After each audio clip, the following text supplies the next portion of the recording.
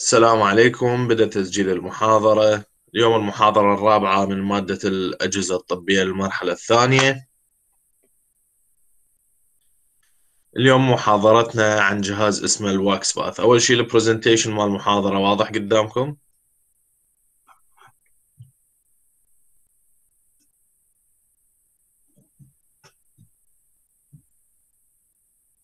طلاب لي جيد. واضح دكتور واضح.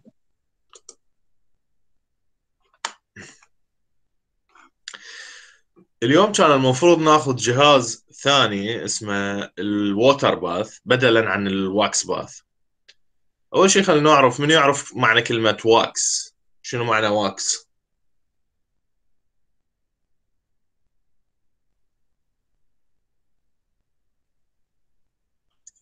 دكتور جهاز الغسيل؟ الكلمة العامية يعني شمع. شمع. ال wax هو الشمع. ال wax bath جهاز الشمع. أو حمام الشمع. ال water bath هو حمام الماء.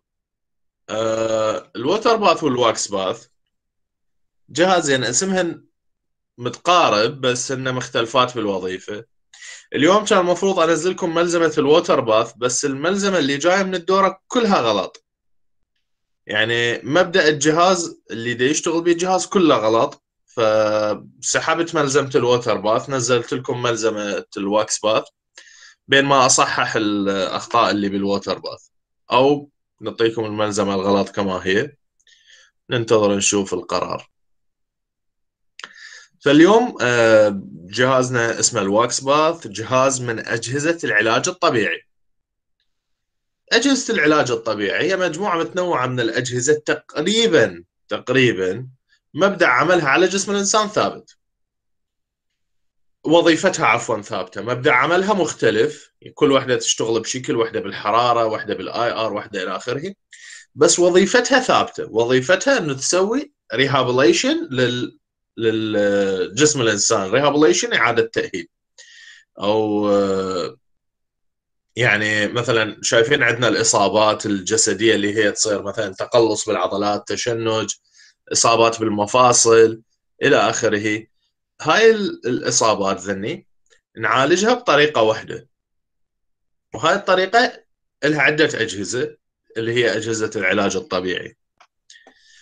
أبسط شكل من أشكال العلاج الطبيعي متوفر ببيوتنا.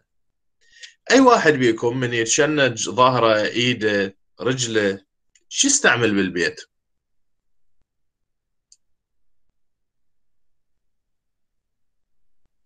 شو يستعملون؟ اي دكتور جهاز التدليك تدليك بعد. غسل بالماء الحار. ما- غسل بالماء الحار بعد. يعني دكتور مو حار يعني شوية دافي يعني يرخي العصب. صحيح بعد. وقفت. شيء عندنا بالبيوت أغلبها يعني. آه، نستعمله لما عندنا عضلة تتشنج لما يلزمنا دمار إلى آخره.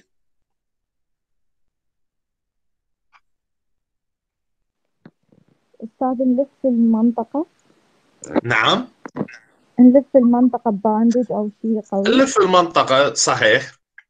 أكو بعد فد شيء متوفر بكل بيوتنا نستخدمه بالعلاج الطبيعي. دكتور مرهم؟ المرهم بالتأكيد هو المرهم همينه مبدأ عمله نفس الفكرة بس كيس المي الحار. كم واحد ببيته كيس دكتور مي حار؟ نفس الماء حار. انت قلت اعتقد سمعتك قلت نغسل المنطقة بالمي الدافي مو؟ اي ماء دافي أو الكمامات الحارة. اي كيس المي الحار آه، اكو واحد ما عنده ببيته كيس مي حار؟ بأبسط شكل إلى هذا اللي نفور له مي ونخليه بالكيس ونخليه على المنطقة المصابة. كيس المي الحار. الفكرة بكيس المي الحار أو عندنا طريقة ثانية كانوا يستعملوها أهل قبل للمفاصل اللي تنخلع. عندك مثلا آه، رجلك اللوت أو فشي يسموها لبخة. لبخة حارة هي عجينة يخلوها على النار ويلفوها على المنطقة المصابة. كل الفكرة من ذني إنه إحنا. نخلي الجسم يعالج نفسه بطريقة أسرع. الحرارة شو تسوي للشعيرات الدموية؟ أحد يعرف تأثير يزيد الحرارة؟ تدفق الدم بيهم؟ يزيد تدفق الدم. عشان غليل الحرارة توسع الأوعية الدموية وتزيد تدفق الدم. من يزداد عندنا تدفق الدم؟ يزداد عندنا إعطاء الغذاء وسحب الفضلات. ويزداد عندنا سرعة معالجه الجسم لنفسه. الجسم هو يعالج نفسه بعد فترة. سواء كانت عندك إصابة سواء كانت عندك آه، راض كسر إلى آخره الجسم راح يعالج نفسه. بس إحنا شو نسوي؟ نسرع من هاي العملية عبر تسخين المنطقة اللي المصابة. من نسخنها؟ تتوسع الأوعية الدموية يزداد تدفق الدم الدم راح ينقل غذاء للمنطقة المصابة حتى تتعالج ويسحب الفضلات اللي هي غالبا تصير بالتشنج. من العضلة عندك تتشنج زيادة حامض اللاكتيك بيها حامض اللبنيك. الحامض هذا يسبب تشنجات وتقلصات الجسم يقدر يسحب هذا الحامض بعد فترة بس هاي الفترة تطول. فإحنا نزيد تدفق الدم له على مود يسحب الحوامض والفضلات بأسرع وقت. فإحنا كل الفكرة بكل أجهزة العلاج الطبيعي إحنا بس نسخن المادة اللي الجزء المصاب حتى نزيد تدفق الدم. ونسوي العملية طرح الغذاء وسحب الفضلات. فعندنا كيس المي الحار بالبيوت أول طريقة عندنا الطريقة الثانية اللي هي اللبخة. اللبخة فكرتها مثل فكرة الجهاز اليوم اللي اليوم راح نشرح عنه. العجين العجينة اللي يسووها على النار يعني للي ما يعرف اللبخة أو مش شايفها أهل قبل يسوون عجينة يحطوها على طاوه على النار تحمل عجينة يلفوها على رجل المصاب أو على المنطقة المصابة.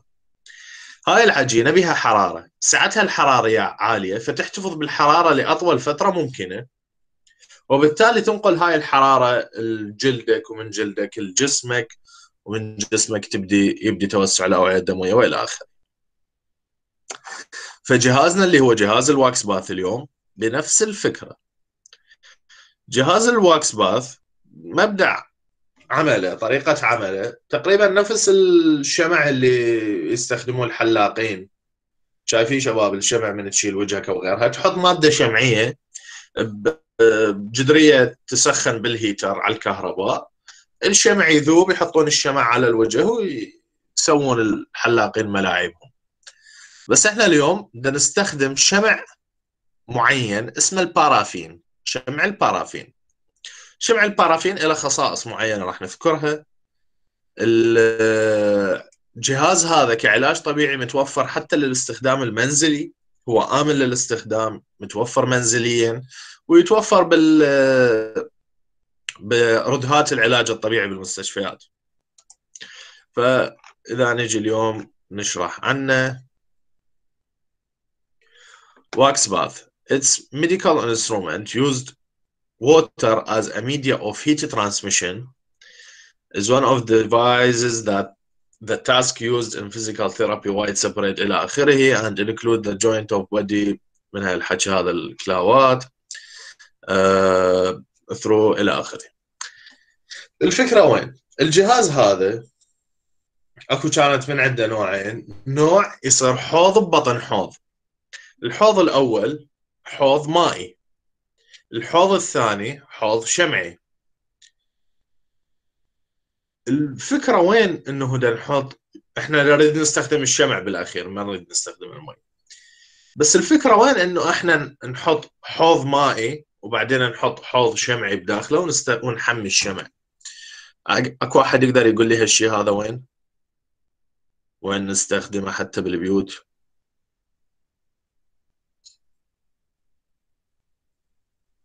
ما حد شايف هاي الطريقة قبل؟ دكتور عيد السؤال. جهاز ال wax bath. جهاز ال wax bath أكو من عنده نوعية تصير حوضين. حوض ببطن حوض. الحوض الأول حوض مائي. يسخن الحوض المائي. أكو ببطن الحوض المائي حوض شمعي. الحوض المائي إحنا heater يسخن الحوض المائي والحوض المائي يسخن الحوض الشمعي. من يعرف ليش بدنا نستخدم هاي الطريقة بالتسخين؟ ومن شايف هاي الطريقة بالبيوت. دكتور هي على مود تحمي عجينة؟ لا هسه إحنا آه، انسى العجينة. إحنا بدنا نحكي على الشمع على الجهاز الشمع. هو حتى يحمي الشمع بواسطة آه، المي. زين خب نح- نحميه بال heater مباشرة. هذا حمام بخار دائما نستخدمه يعني اللي نسوي كيك اي الشوكولات وهاي الأشياء. حتى يعني يحمى تدريجيا مو ناس يعني مو جزء يحمى وجزء لا. صحيح. جزء يذوب وجزء لا. صحيح. وين نستخدمه؟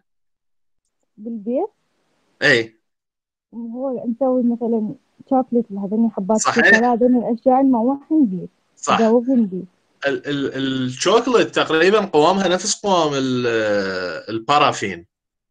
الشوكولات إذا تريد تحميها مباشرة على فد كاسة معينة على النار آه، أول طبقة ملامسة للحديد راح تذوب بالحرارة العالية وبعدها راح تعمل كعازل للشوكولات الباقي فشي يصير عندنا؟ الشوكولاتة اللي ذابت راح تبدي تغلي وتفور وممكن تحترق وبعدها ال- الشوكولاتة الباقية ما ذابت. صارت لنا طبقة عازلة الشوكولات الباقي صار طافي يطفو فوق ال- الشوكولات المذاب وبعد ما راح يذوب. يتأخر عملية الذوبان وراح يحترق ال- الشوكولات على ما يذوب. فيسووا له حمام مائي. الحمام المائي نستخدمه حتى بالقسم الداخلي. ماكو واحد بيكم قسم داخلي؟ بالقسم الداخلي نعرف إنه من نريد نحمي آه، مرقة آه، جامدة. وكثيفة مثل مرقه فاصوليا مرقه باميه ما نقدر نحميها بالطريقة المباشرة. إذا ما نريدها تحترق طبعا وإذا نريدها بسرعة تحمى نخليها بحمام مائي جدر صغير بطن جدر بيه مي وهذا الجدر المي يخلي توزيع الحرارة على كل أنحاء الجدر. فيخلي لنا المادة تذوب بطريقة سلسة أكثر تمنع عنا الاحتراق وتذوب كلها بنفس الوقت. أه اسمك شنو 314066 زينة مقداد. نعم. زينة مقداد. زينة.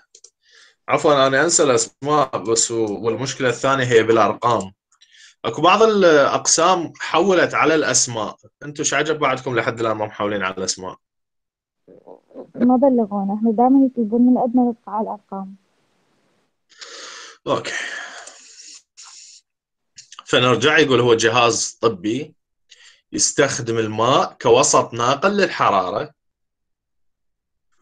نستخدمه بالعلاج الطبيعي الفيزيائي لعلاج المفاصل يستخدم مبدأ الحرارة الكامنة اللي بالشمع اللي هو نوع خاص من الشمع اسمه البارافين لأنه هذا الشمع يكسب الحرارة ببطء ويفقدها ببطء.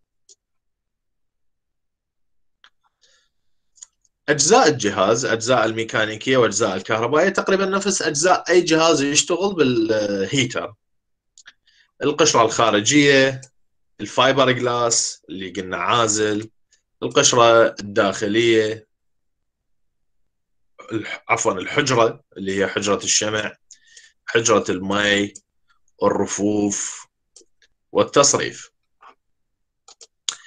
إذا ن- نشرح الجهاز القديم الجهاز القديم مكعب جواه heater مكعب من ال stainless steel جواه heater. يغلفهن fiber glass عازل ويغلفهن آه، مكعب ثاني حديد. صار لنا الجهاز بداخل هذا المكعب ال steel نحط مي. وراها نحط آه، حجرة أو chamber أو آه، مكعب ثاني بداخلهن بال wax راح يسخن ال heater راح يحمي المي المي راح يسخن لنا ال wax وإلى آخره. هذا كل الجهاز. الجهاز ما دام عندنا heater معناته عندنا ثرموستات. وما دام عندنا heater معناته عندنا ثرموميتر حتى نقيس الحرارة. الثرموستات حتى نتحكم بالحرارة. on off switch ضوايين مال indicator وانتهى الموضوع.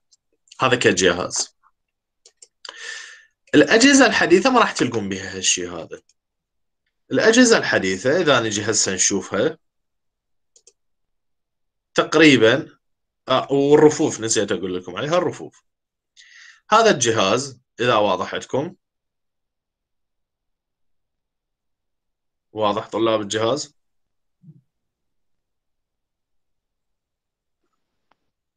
هذا الجهاز هو جهاز الواكس باث الحديث. واضح دكتور واضح. هاي تشوفون الحجرة الداخلية اللي آه نخلي بيها الشمع وراها نخلي الرف اللي الميش يسموه وراها نخلي الشمع وراها نخلي الإيد اللي نريد نعالجها بالشمع وحتى تكتسب شمع وحرارة وتتعالج طبيعيا. الأساليب الحديثة هي إنه الشمع شبه سائل. شمع معين شبه سائل مو مثل الشمع القديم اللي هو صلب. الشمع اللي شبه سائل ما نحتاج له حمام مائي لأنه هو أصلا ذايب. فمجرد انه نحطه بوسط يسخن هذا الشيء. واضحة الفكرة؟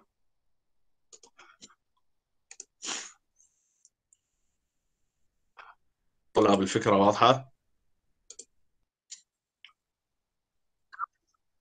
هسه اذا نشوف هذا الجهاز آه عندنا. شاشة معناتها ثرموميتر on off switch دقمتين up and down معناتها عندنا ثرموستات هذا اللون الأزرق أو البنفسجي هو الجل اللي شبه سائل.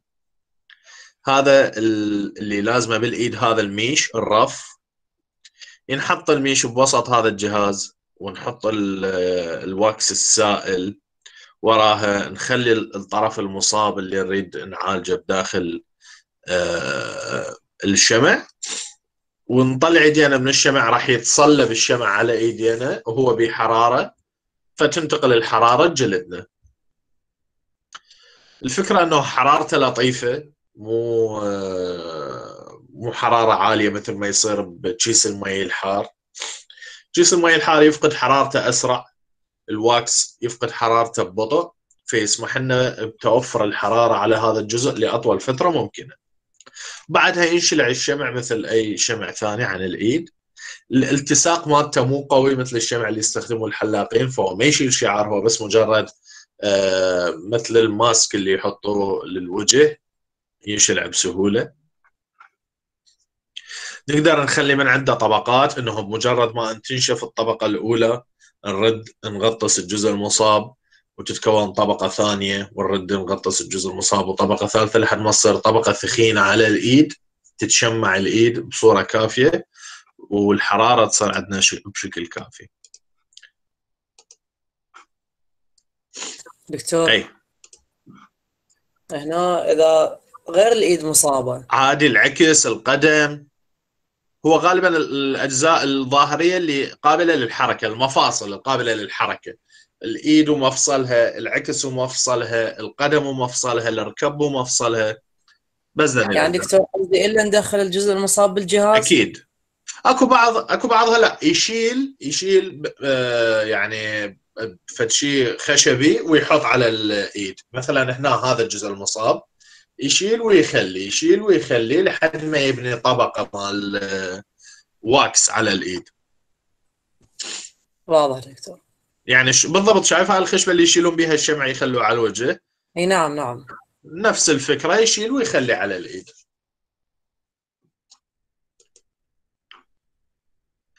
نجي نشرح الأجزاء الميكانيكية. الغلاف الخارجي أو the coat مصنوع اما من الألمنيوم أو ال stainless steel للأسباب المذكورة دائما. مقاوم للصدمات مقاوم للأكسدة شكله مكعب على مود ينحط بسهولة بأي مكان. آه، متكون من عدة طبقات من ضمنها المادة العازلة. شنو هي المادة العازلة؟ كانت دكتور steel؟ أحمد يقول steel. شنو هي المادة العازلة اللي كنا نستخدمها؟ ال fiber glass ال fiber glass يا زينة. صحيح. ال- ال fiber glass هو المادة العازلة اللي نستخدمها. من يتذكر شلون كان يعمل ال fiber glass على ال... بالعزل؟ أكو طلاب 3 1 4 0 3 4 3 1 4 0 3 4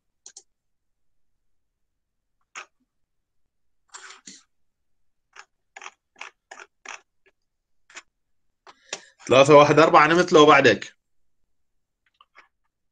3 1 4 0 3 4 نمت لو بعدك.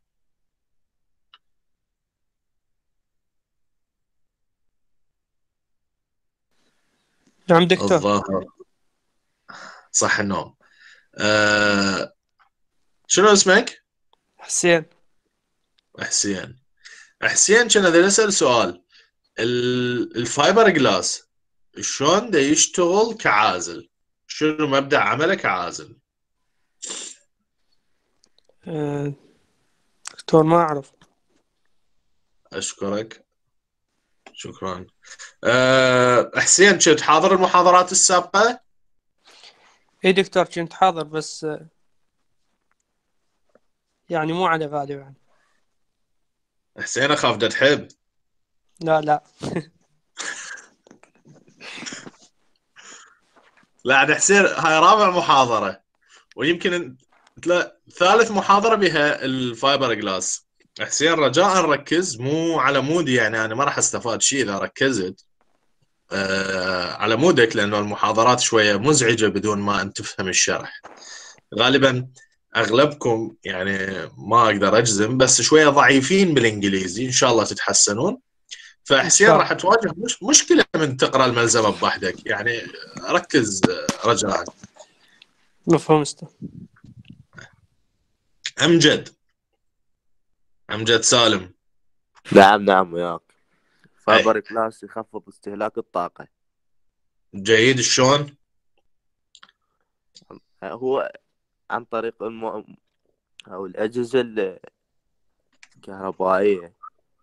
فشلون مبدأ عمله ما أتذكر بالضبط. امجد أنت قلت حكاية صحيحة هو يخفف استهلاك الطاقة وهالحكاية أتذكرها من ملزمه ال oven شرحناها. عاشت لك امجد بس سؤالنا كان عن إنه شلون دا يعزل؟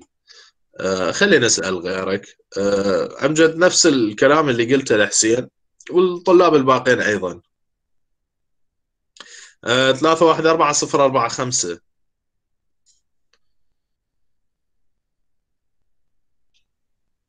3 1 4 0 4 5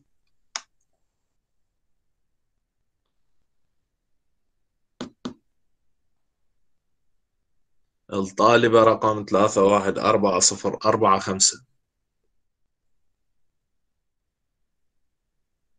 أعتقد نحذفها من المحاضرة لأنه يمكن بس مسجلة دخول وما تدري بالجهاز.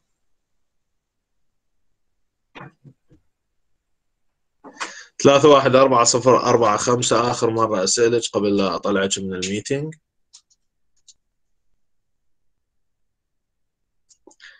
موجودة.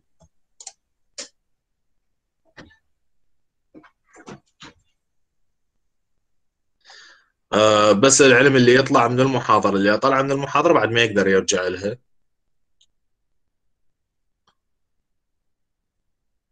شكرا. ثلاثة واحد أربعة صفر ثمانية ثمانية.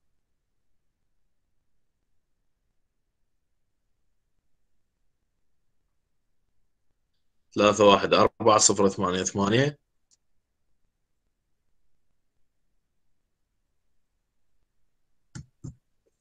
الطالب ثلاثة واحد أربعة صفر ثمانية ثمانية. هي المشكلة بدون أسماء. عشان صحنا الأسماء وخلصنا من الموضوع. دكتور تقدر تقول بس ال... بس الرقم الأخير أسهل. هم حافظينه إحنا حافظينه يعني. آه أشكرك أشكرك أحمد. صحيح. صفر ثمانية ثمانية. صفر ثمانية ثمانية موجود ويانا لو لا؟ أيضا ما موجود. خلينا نطلع من ثمانية ثمانية راح تطلع من المحاضرة. موجود لو لا؟ مو موجود.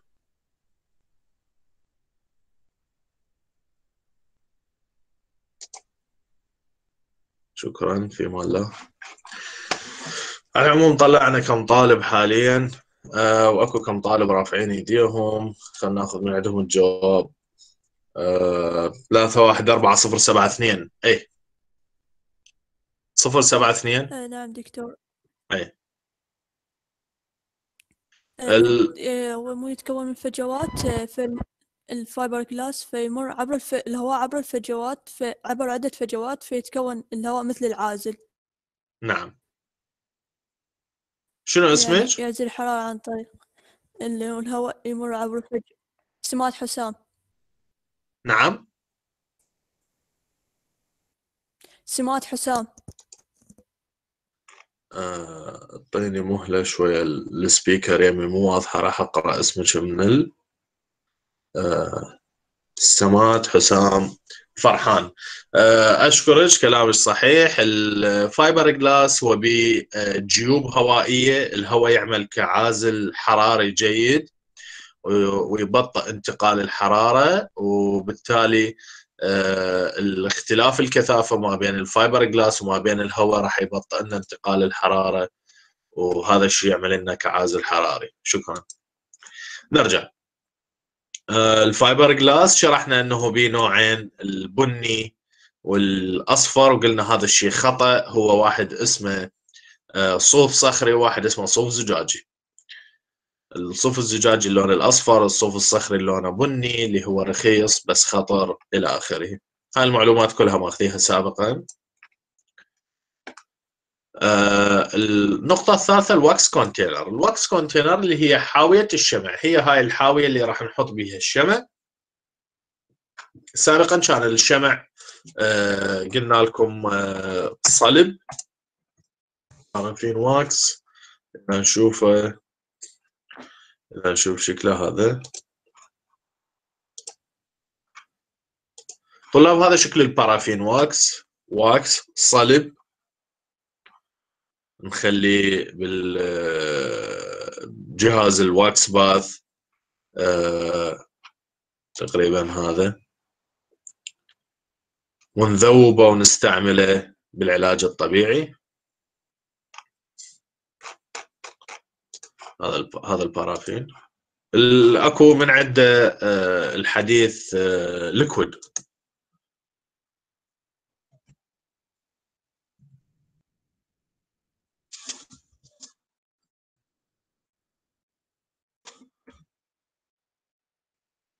أكو من عنده liquid وأكو من عنده صلب. نرجع المحاضرة. هو هذا ال- wax container حاوية ال wax هي اللي راح تحتوي لنا ال wax مصنوعة من ال stainless steel آه، محمولة نقدر نشيلها نرجعها نغسلها إلى آخره. الحجرة الحجرة هي مصنوعة بالكامل أيضا من ال stainless steel. شكلها مكعب. آه، أيضا مصنوعة من steel لنفس الأسباب. آه، نحط بيها مي. هذا المي اللي قلنا حنسوي حمام مائي حتى نذوب آه، الشمع. آه، المي لازم يكون مي مقطر على مود لا آه، بيه املاح ويسبب لنا تآكل بالمواد. هذا اللي يبقي لنا ال- ال- الشمع بحرارة ثابتة تقريبا حرارة ثابتة الرفوف العفو دكتور ليش مصنوع عن steel steel؟ أحمد ال- stainless steel شنو خصائصه؟ دكتور أنا أدري بيه مادة غير قابلة للتأكسد صحيح إذا نفس الفكرة إحنا بدنا نصنعه من ال stainless steel حتى لا يتاكسد لأن إحنا همين عندنا حرارة عندنا مي عندنا أكسجين عندنا رطوبة هاي العوامل كلها عوامل مؤكسدة. فإحنا نخلي مادة ما تتأكسد بسهولة قوية مقاومة للصدمات قابلة للتشكيل رخيص نوعا ما ال stainless steel ومتوفر بكل مكان. فلهذا إحنا نستخدم ال stainless steel بالمواد اللي بها حرارة مي أكسجين إلى آخره. نفس الأجهزة السابقة دكتور. نفس الأجهزة السابقة عاشت إيدك أحمد. الرفوف أو الميش. الصراحة هنا هاي المعلومة نصف صح نصف خطأ. Uh, the mesh is made of aluminum or steel. It contains of a group of holes to increase thermal conductivity. هنا وين الخطأ اللي وقعت فيه؟ الملزمة أو اللي يشرح بعض الأحيان آه، بعض الأجهزة آه، حتى أكو من عندها جدر الضغط المنزلي القديم تلقون بيه مثل الصينية مثقبة تنحط بنص الجدر الفكرة وين؟ منو أسرع وسط ناقل للحرارة؟ اي أحمد رافع إيدك. أسرع وسط ناقل للحرارة شنو؟ الحديد لو النحاس عاشت إيدك. المعادن. المعادن الصلبه هي أسرع وسط ناقل للحرارة. فمن عندنا طبقة من الحديد ملامسة للهيتر دا تحمى. بعدها طبقة مائية. ما بين الحديد والمي الكثافه راح تختلف. ما بين الحديد والمي سرعة انتقال الحرارة راح تختلف. فاكو أجهزة مثل قلت لكم جذر الضغط المنزلي يحطون صينية بيها آه، مساند. مساند الطخ بالقاعدة السفلى وهي تكون عالية بحيث شو يصير؟ عندنا المساند هاي راح توصل حرارة أسرع من المي. راح تسخن ال- الصينية. الصينية راح تكون كوسط ناقل للحرارة ثاني. كأنما هيتر اضافي حاطينه بنص ال- بنص الجدر. يوصل يوصل الحرارة بشكل أسرع فيقوم يسخن من الفوق ويسخن من جوا يسخن عندنا المي بشكل أسرع. هنا هذا الشيء ما موجود بالواكس باث ما نحتاجه. بالواكس باث الميش لها استخدام آخر. مثل ما راح نشوف بهذا هاي الصورة. هنا الميش من شكلها إيش تشوفوها.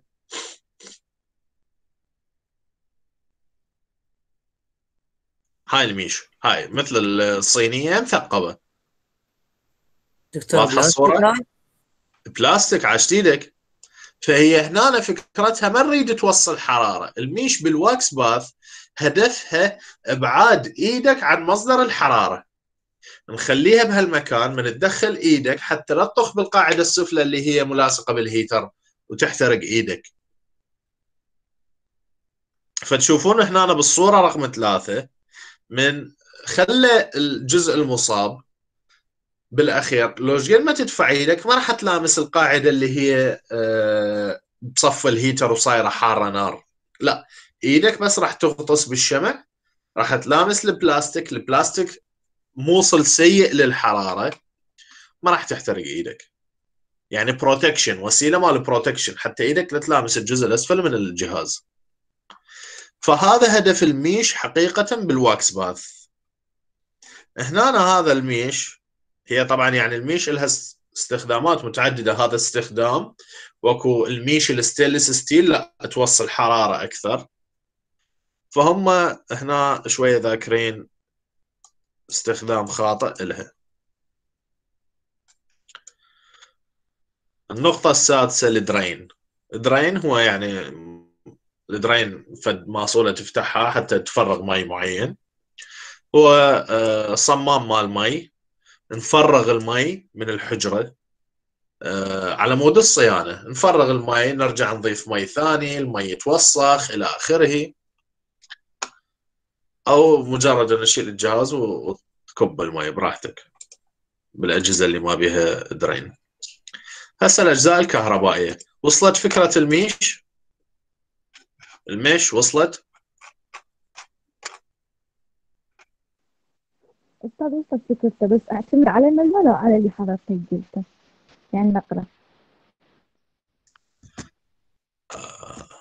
سؤال مهم وبمحله آه، يعني راح أحاول ما راح أجيب الميش هذه. بس المومنتوم فهمتوها. المهم أنتم فهمتوها.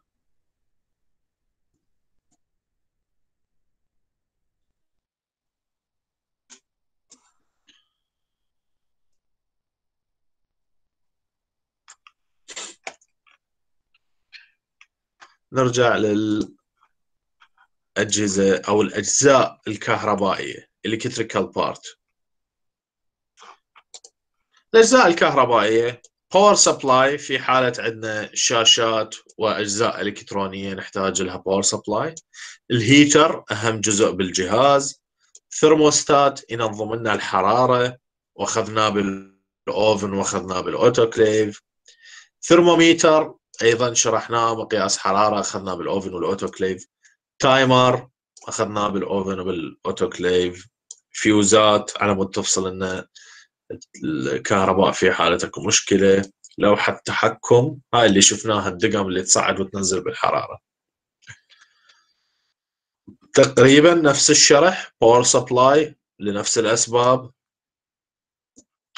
الهيتر جزء التسخين اللي يصعد لنا الحرارة بواسطة مرور تيار كهربائي من خلاله أجزاء مكوناته كلها انشرحت بالتفصيل الثرموستات خلينا نشوف منو مركز ويانا الثرموستات شنو كانت وظيفته من يذكر وظيفة الثرموستات شنو؟ أمجد. الحرارة الثرموستات آه. حساسة الحرارة حساس الحرارة اشتي ذكر آه، صفر صفر ثلاثة قلت عازل للحرارة شنو اسمك؟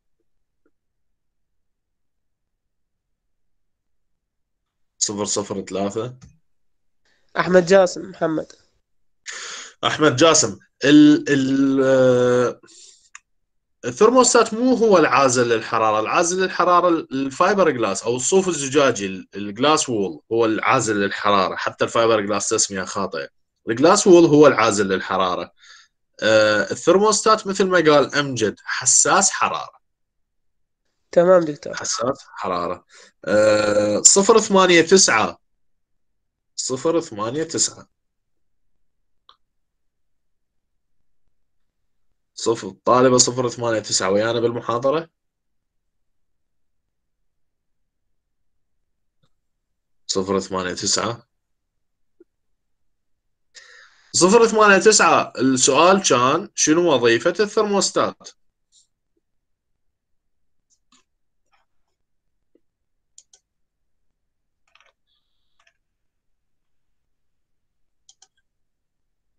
صفر ثمانية تسعة. ينظم الحرارة. شكرا. صفر شنو اسمك صفر ثمانية تسعة؟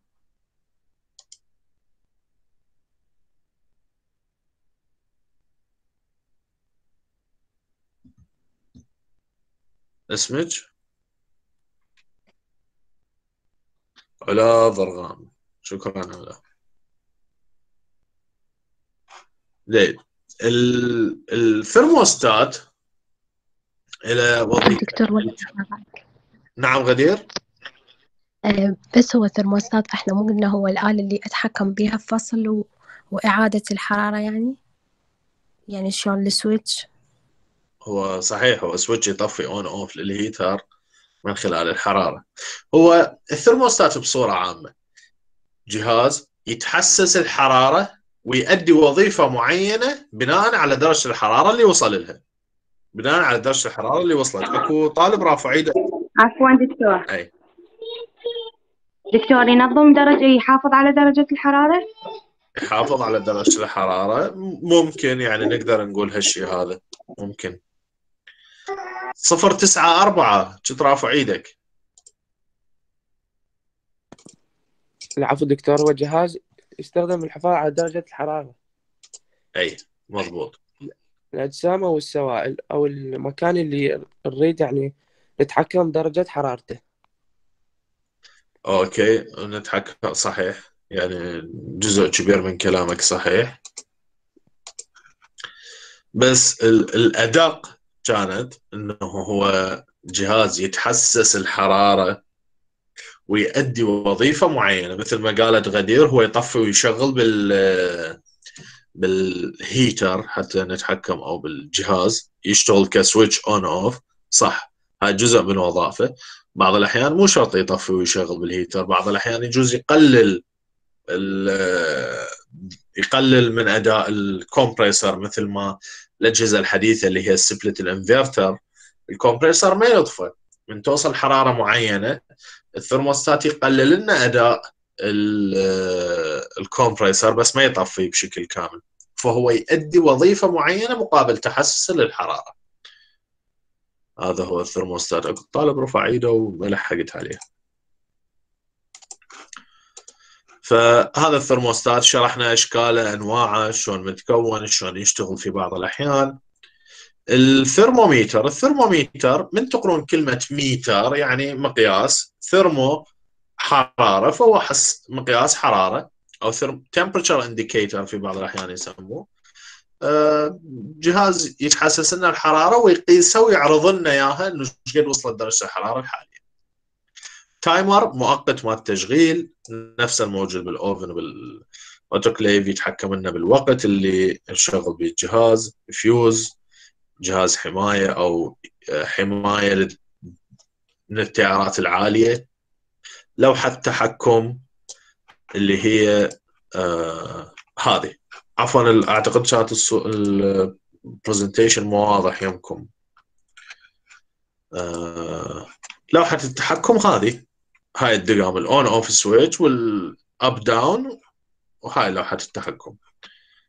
إذا نرجع للمحاضرة حكينا على الثرموستات حكينا على ال thermometer timer fuse control panel إلى آخره. هسه نجي على الأسباب اللي نستخدم بيها البارافين. ليش نستخدم شمع البارافين؟ ال- البارافين درجة حرارة التبخر مالته جدا عالية. يعني ما يتبخر آه، ب 100 مثل ما المي لا يتبخر بدرجة كلش عالية. نشوف ال paraffin wax boiling point إذا نجي هنا طبعا جوجل يعني هو المرجع الأول بكل شيء. paraffin wax boiling point نقطة غليان البارافين ب 370 درجة. 370 درجة. فإحنا نستخدمه لأنه هو ما يغلي بنقط يعني مثل المي بالمية ويتبخر وينتهي. لا. يغلي بدرجة 370 اللي إحنا ما راح نوصل لها فما راح يتبخر ما راح يخلص ما راح يقل. النقطة الثانية المهمة ال wax موصل سيء للكهرباء. فإحنا عندنا هنا أجزاء كهربائية. يعني إذا نرجع على هذا عندنا أجزاء كهربائية عندنا heater إلى آخره. بس من نحط إيدينا بال wax إحنا آمنين إنه ال wax ما راح يوصل كهرباء لإيدينا ما راح ننتل. فهو موصل سيء للكهرباء. النقطة الثالثة المهمة بالعلاج الطبيعي. الواكس يفقد حرارة ببطء. ويحافظ على الحرارة لأطول فترة ممكنة 20 إلى 30 دقيقة. طبقة الواكس اللي نحطها على جسم الإنسان تظل 20 إلى 30 دقيقة بنفس درجة الحرارة تقريبا. طريقة العلاج أو مبدأ العلاج أو إلى آخره. هنا أول فقرة يقول لك remove watch and rings in the treatment area. ليش من نريد نعالج الإيد مثلا؟ لازم نخلع الحلقة والساعة من أيدينا. خلينا نقول والله الساعة يجوز تتأثر بس ليش نخلع الحلقة؟ أي دكتور لأنه الحلقة يعني معدنه موصلة للحرارة فبالتالي الحرارة اللي بالوكس حتوصل يعني حننشوف بيها. صحيح شكرا شكرا غدير. الحكاية جدا صحيحة. الحلقة أو أي شيء معدني موصل أسرع للحرارة يوصل حرارة بشكل أسرع. فالواكس بدل ما كان يعطيك حرارة بشكل بطيء لإيدك وإيدك ما تحترق لا حيعطي حرارة كلش عالية للحلقة وبالتالي أو الساعة وبالتالي هاي راح تصير منطقة حرق راح تحرقك راح تصير بها حرارة عالية وتحرق ال- الإيد. فلازم تخلع أي شيء معدني من آه، منطقة العلاج. زين. آه، إذا الحلقة بها مشكلة وما تنزع هنا أنا يقول لك غطيها بطبقات من الشاش الطبي ال gauze آه، وبعدين نحط عليها tape حتى لا توصلها حرارة. النقطه الثانية احمي هدوم ال patient من ال paraffin wax. احمي هدوم ال patient يعني لا تخلي الشمع يظل يصير على هدوم المريض لأنه بعدين راح يسبب له حساسية. وحكه بالجلد. النقطة الثالثة اشرح إنه للمريض إنه الواكس حار راح تحس بيه حار بس اتأكد إنه ما راح يحرقك. شايفين الولد أو غير البنات الواكس مال الوجه يعني ما مستخدمة بس هو حار آه، بس ما يحرق ما شفت أحد احترق بيه بس ال- الواكس هذا يعني شايفه حار تحسه حار. أول ما تخليه على إيدك تحس بالحرارة بس ما راح تحترق. من ينشال من إيدك ما تحترق. آه إذا ممكن؟ نعم. النقطة الثانية إذا ممكن. النقطة الثانية. احمي protect the patient clothing from the paraffin because it causes skin rash أو sensitivity. احمي هدوم ال patient احمي هدوم المريض. لا يصير عليها wax يعني وخر هدومه لا تخلي ال wax يصير على الهدوم لأنه بعدها راح يسبب حساسية وحكة. إحنا بالعلاج بدنا نحط ال wax لمدة 20 إلى 30 دقيقة ونشيله وانتهى الموضوع. بس إذا صار الشمع على الهدوم هاي الهدوم راح تظل راح يظل لابسها ال patient لمدة 8 ساعات ممكن. الشمع راح يظل ملاصق الجسم الانسان لمدة 8 ساعات وراح يسبب لنا حكة وهو حساسيه هاي النقطة الثانية. واضحة؟ واضحة واضحة جيد. النقطة الرابعة يقول لك افحص المنطقة اللي تريد تعالجها. أولا لازم الجلد يكون نظيف. آه على مود لا ينقل لنا تلوث للسائل. لأن مثلا إذا ال patient مثلا إيده بيها دهن إيده بيها آه، فد شيء معين وسخ معين راح ينقل هذا التلوث للسائل. للواكس وهذا الواكس إحنا نستخدمه لأكثر من patient مو patient واحد فراح يصير التلوث بال wax على هذا أي زيوت أي وسخ أي شيء على إيد ال patient آه، راح تعمل لنا كطبقة عازلة وما راح توصل لنا الحرارة بشكل كامل. يقول لك إذا إيده مو نظيفة أو الجزء المصاب مو نظيف لازم يغسله بالماء والصابون. الجسم لازم ي... الجلد لازم يكون جاف وخالي من اي شيء لأنه راح يسبب لنا حرق. الجلد لازم آه، يكون ما بي جروح ما بي شخوط ما بي تهيج ما بي آه، جروح مفتوحة خدوش أي شيء خدش آه، تهيج إلى آخره لازم يتغطى بالشاش أكو واحد رفع إيده وكتب سؤال نعم دكتور. أي. دكتور إذا كان ال- الجلد آه، بنوع من الحساسية. أي. أكو مشكلة؟ مو حسب. إذا الحساسية بنقطة معينة مثلا أنا عندي حساسية أكزيما بنقطة معينة محددة ما منتشرة بكل الجلد هاي تتغطى بشاش وبعدها يحطون ال wax. بس لا إذا هو كله عنده أكزيما بكل جلده بحيث يتحسس من البارافين ما حد راح يستخدم له بارافين. أكو غير طرق للعلاج. شلون يعالجوا والله غير طرق دكتور؟ استنشاقه هم يأثر على الجهاز التنفسي. هو ما راح يتبخر فما راح يستنشق. هو يتبخر بال 370 ما راح يستنشق. اللي أنت تشتمه من ال paraffin wax هو العطر أو زيوت الطيارة.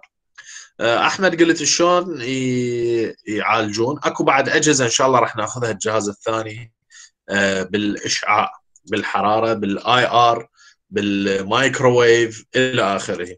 أكو وايد طرق من العلاج الطبيعي. كيس ماي حار أسهل واحد. زين.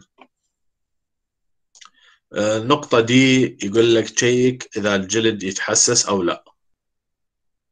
آه، استخدم ال wax بحذر.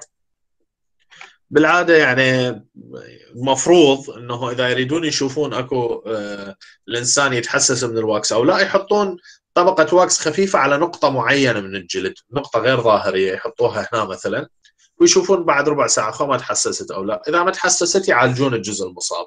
إذا لا والله تحسست يقول لك حول على غير جهاز.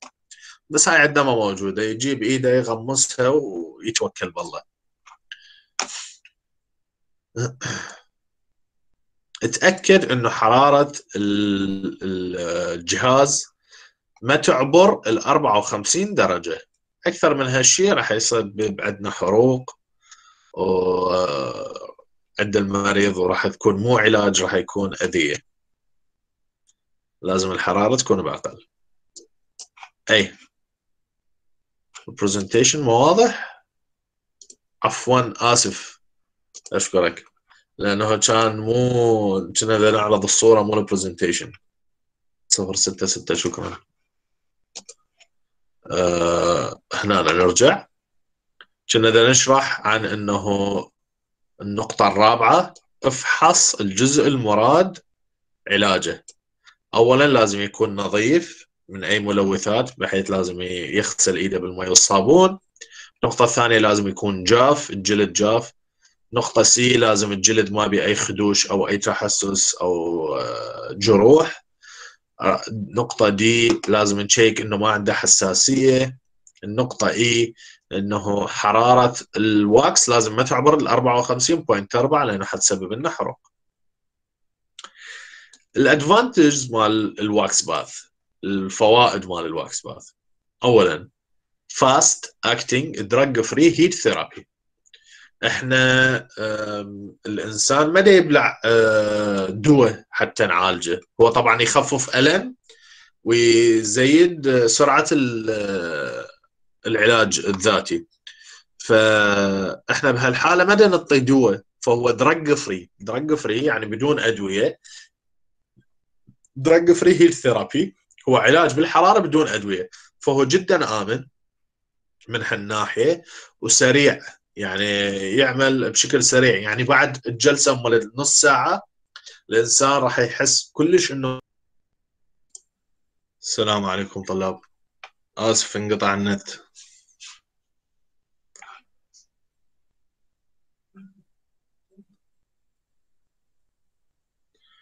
آه الأفضل إنه نطلع ونسوي ريجوين من جديد لو الكل دي يسمعون ماكو مشكلة. تمام أستاذ نسمع. آه التسجيل بعد شغال. ال presentation واضح لكم لو لا؟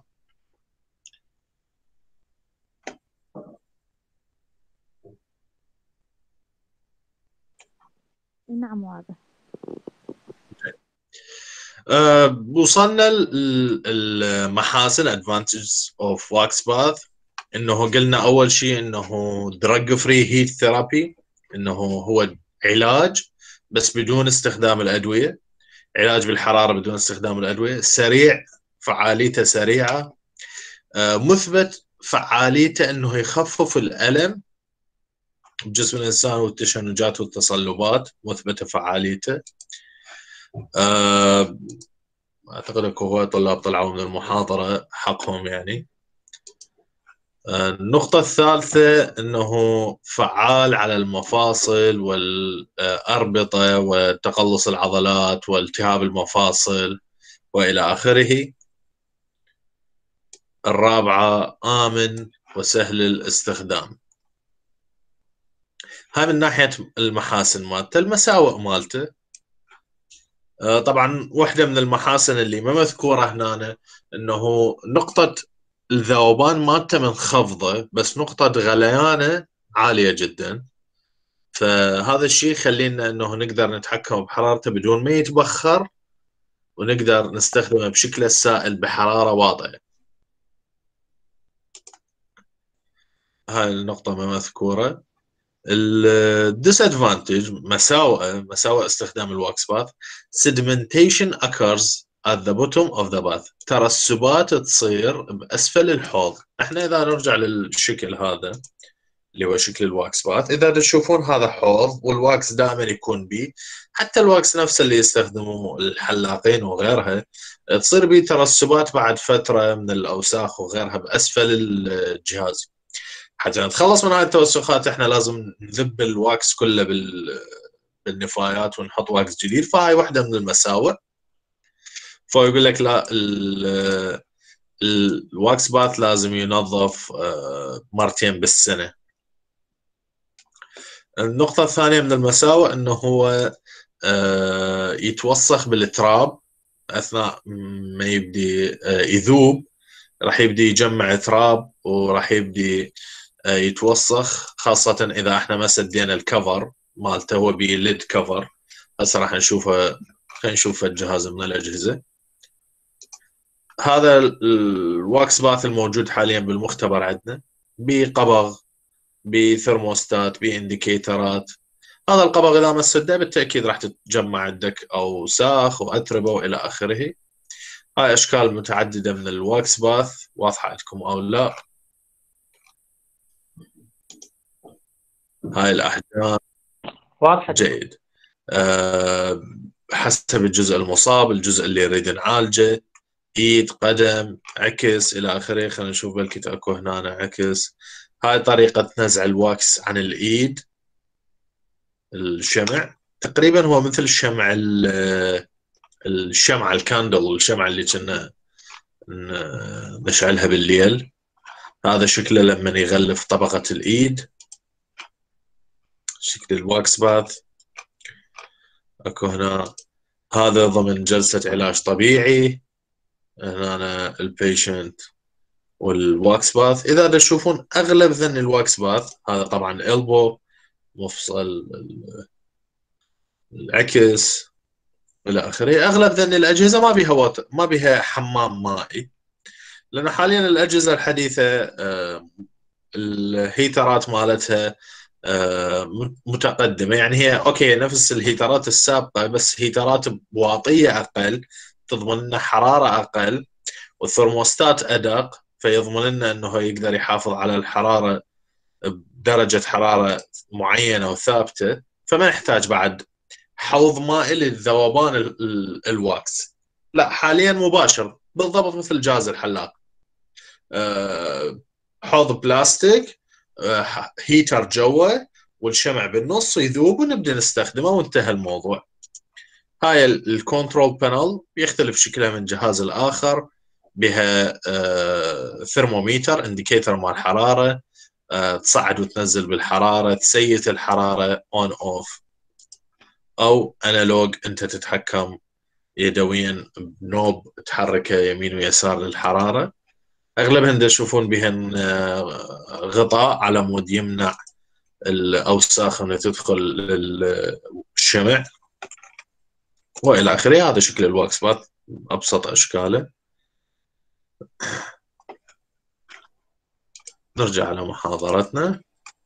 الأعطال والمشاكل والصيانة. الجهاز إحنا قلنا هندسيا كل ما يتعقد الجهاز إيش تزداد وياه؟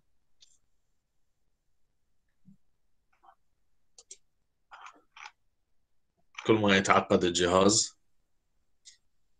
شو يصير؟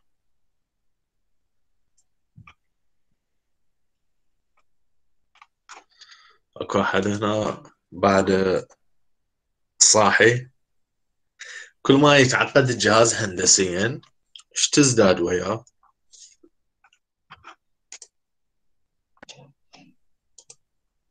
أحد يعرف؟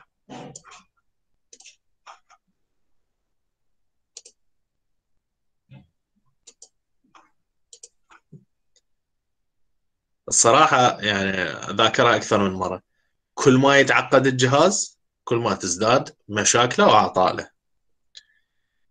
جهاز الواكس باث هسه اللي شرحناه جهاز يعتبر معقد لو بسيط.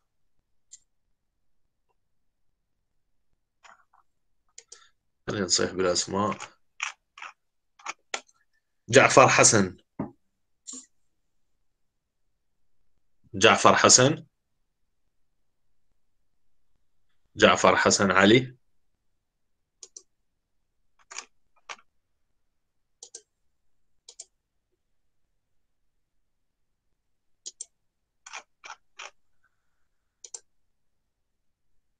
جعفر حسن بعدك ويانا لو جعفر ما موجود. آه، صفر تسعة خمسة.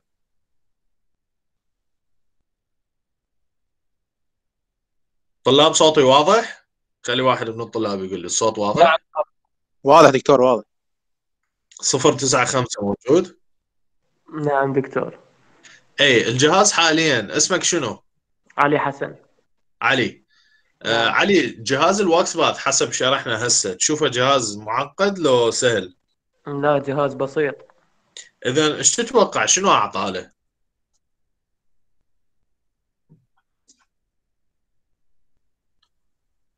آه علي دكتور اعطاله يعني أشياء بسيطة يمكن مثلا ال heater. عاشت إيدك شكرا. شكرا علي جواب جدا صحيح. شكرا. خلينا حتى نشوف الباقين أشكرك. آه صفر تسعة أربعة. بلي دكتور؟ اي آه علي ذكر انه آه، اعطاله ال heater. أنت شو تقول؟ الجهاز معقد لو بسيط؟ وشنو اعطاله اللي تتوقعها؟ لا دكتور بسيط الجهاز. والأعطال يعني احتمال تكون بالهيتر بالتنظيم مالته. اسمك شنو؟ علي حازم. علي شكرا علي. عفوا. دكتور صفر سبعة خمسة. صفر سبعة خمسة.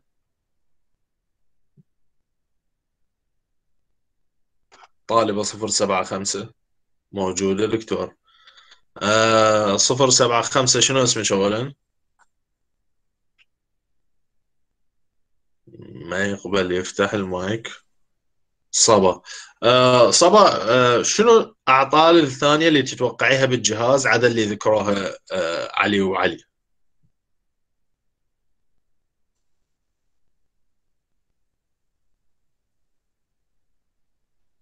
صبا أي أي شيء يجي ببالك؟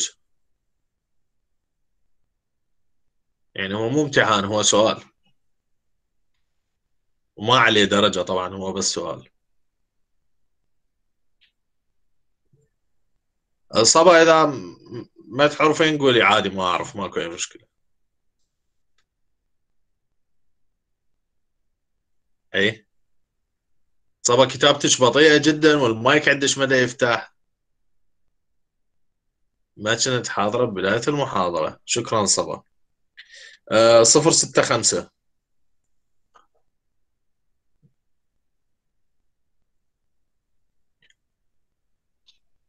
صفر ستة خمسة آه، شنو اسمك أولا؟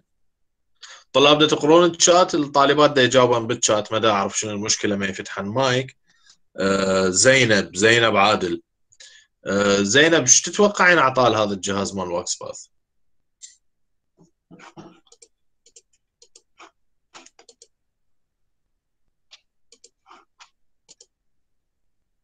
زينب تقدرين تفتحين مايك؟ لأنه الموضوع ده ياخذ وقت كلش طويل.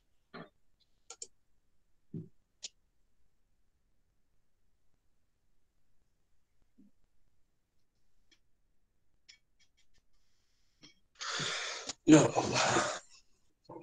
زينب وقت الإجابة ما تجي أكثر من الوقت اللي انقطع عندي بيه النت.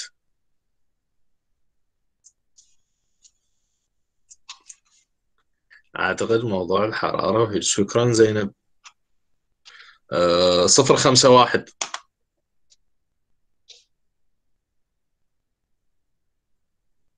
صفر خمسة واحد. طالب صفر خمسة واحد. آه، okay خلي نعوف موضوع ال- الطلاب النايمين حاليا. من يعرف بعد شنو أعطال الجهاز هل ير- يرفع يده يسوي raise hand أي. رفعت سبعة اثنين. دكتور الأسلاك؟ نعم. الأسلاك؟ آه، okay ممكن. الأسلاك. غالبا أسلاك ال heater لأن هي معرضة للحرارة أكثر. هي معزولة حراريا بس هي معرضة للحرارة بعد فترة تتيبس وتنقطع. آه شكرا. ال- الجهاز كل ما أجزاء قليلة كل ما بسيط أكثر. كل ما ما معقد اعطاله تكون قليلة. فهو يقول لك اعطاله قليلة لأن أجزاء الكهربائية قليلة وما يحتوي على أجزاء إلكترونية هواي. ال heater ال thermostat ال thermometer on off switch fuse إلى آخره. التصليح مالتهن يكون بتبديلهن بس لا أكثر ولا أقل. ال wire عندك تيبس مثل ما قالت الطالبة. آه، بدل ال wire. heater عطل بدل ال heater. تقريبا ذن الاعطال مالته. about وقت آه نعم. control مالته يعطل ربما يعطل أنه يضرب فيوز صحيح. صفر ثمانية خمسة. أشوف من صفر ثمانية خمسة. شنو اسمك صفر ثمانية خمسة؟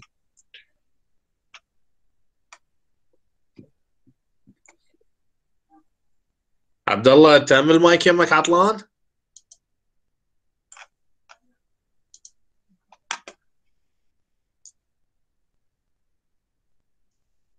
اشكرك عبد الله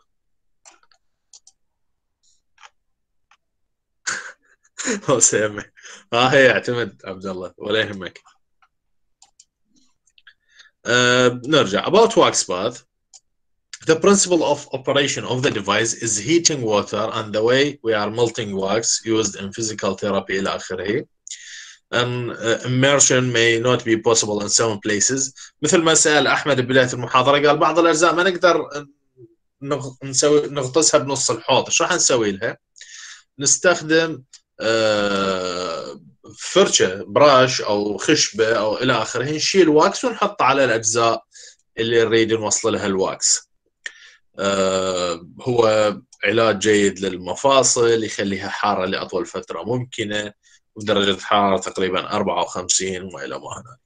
نسوي recap سريع لل للمحاضره ال wax bath جهاز من اجهزه العلاج الطبيعي. جهاز يستخدم الشمع البارافين المذاب بدرجة حرارة معينة. يخلي الشمع على المادة المصابة ال- الحرارة اللي جاية من الشمع. راح توسع لنا الأوعية الدموية راح تزيد لنا تدفق الدم راح تزيد لنا سحب الفضلات تزيد لنا طرح الغذاء والعلاج للمنطقة المصابة. الجسم راح يعالج نفسه. هو مو الشمع هو اللي يعالجنا الجسم ده يعالج نفسه بس بطريقة أسرع من خلال إنه إحنا زيدنا الحرارة عليه. نفس الطريقة هاي اللي نستعملها ببيوتنا بكيس المي الحار باللبخة إنه تحط رجلك يم صوبة تغسل رجلك بمي حار إلى آخره. كل هاي الأسباب هي تخفف لنا من الألم آه، وتزيد لنا سرعة العلاج. هذا الجهاز ده يستعمل واكس لعدة أسباب. منها ذكرناها محاسن ومساوئ أهم شغلة إحنا نريديها بالواكس درجة غليانة جدا عالية درجة ذوبانة قليلة ويحتفظ بالحرارة لفترة طويلة موصل سيء للكهرباء هذا الشيء راح يخلينا طبقة من الواكس تظل على الجزء المصاب وتنقل لنا حرارة لأطول فترة ممكن حتى نعالج بها الأجزاء المصابة. الجهاز بسيط يتكون من حجرة. اللي مشروح بالمحاضرة أبو الحجرتين القديم اللي كان مي وشمع. المي أكو طالبة أعتقد زينة قالت شلون فكرة آه، ذوبان الشوكولات بالبيوت من ش- آه، نستله تذوب فد شيء معين. ما تقدر تذوبها بصورة مباشرة لازم تحطها بحمام مائي حتى تذوب لأن كثافتها عالية. الأجهزة الحديثة ما تستعمل هالشيء هذا. الأجهزة الحديثة مثل أجهزة ال wax مال الحلاقين بالضبط بلاستيكية نحط بها ال wax يذوب ال wax نخلي ال wax على المنطقة المصابة إلى آخره. حجرة داخلية كانت تنصنع من ال stainless steel حاليا تنصنع من البلاستيك. سابقا ما كانت أكو إمكانية البلاستيك يتحمل هيك حرارة حاليا موجودة فكانوا سابقا يصنعون من ال stainless steel مضاد للأكسدة مضاد للصدمات إلى آخره. البلاستيك حاليا ما يتأكسد هو أصلا ما نحتاج مضاد للصدمات لأن ما عندنا مشكلة وياه. موصل سيء للحرارة okay بس هو ينقل لنا حرارة قليلة إحنا ما محتاجين حرارة عالية. الأجهزة القديمة ذاكرين بها ال mesh كمصدر إضافي للحرارة لا. الأجهزة الحديثة ال mesh بلاستيكية حتى تمنع عنا آه، تماس اليد أو الذراع أو القدم مع مصدر الحرارة. heater آه، thermostat thermometer أهم طرق قياس والتحكم بحرارة ال wax. on off switch fuse indicator ات تبين لنا أنه الجهاز شغال أو لا والجهاز انتهى. هذا recap كان سريع للمحاضرة. أي أحد عنده سؤال أي أحد عنده استفسار قبل لا ننهي التسجيل؟ أكو أحد عنده سؤال أو استفسار؟ عاشت إيدك دكتور ممنون أهلا وسهلا أي أحد عنده سؤال خارجي عن المحاضرة خلي بس ننهي التسجيل وناخذ أي سؤال خارجي.